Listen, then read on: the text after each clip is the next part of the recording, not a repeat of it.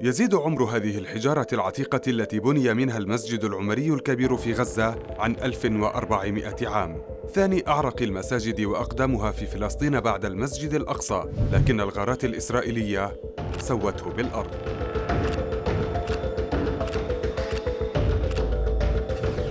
على بعد عشرات الأمتار من المسجد العمري غارة إسرائيلية أخرى طالت كنيسة القديس بريفاريوس للروم الأرثوذكس. أقدم كنيسة في قطاع غزة ما ألحق أضرارا كبيرة في بنيتها.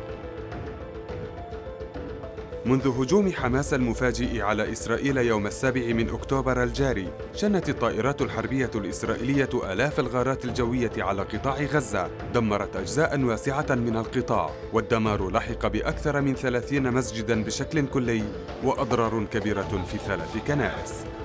إسرائيل تدعي أن حماس تستخدم دور العبادة لإطلاق الصواريخ عليها ولكن من تحت ركام الكنائس والمساجد انتشلت فرق الإنقاذ عشرات القتلى والجرحى الفلسطينيين بينهم نساء وأطفال وكبار في السن.